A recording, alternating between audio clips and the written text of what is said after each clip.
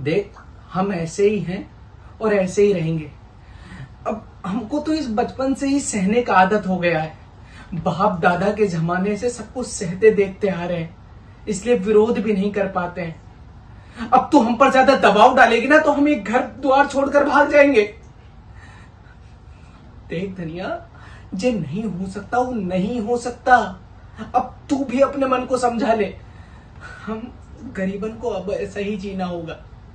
कम खाके और कम खाके। पर तू चिंता मत कर, बिल्कुल भी चिंता मत कर। हम तेरे वास्ते ही फगुन में एक चमुका साड़ी, दो दमों का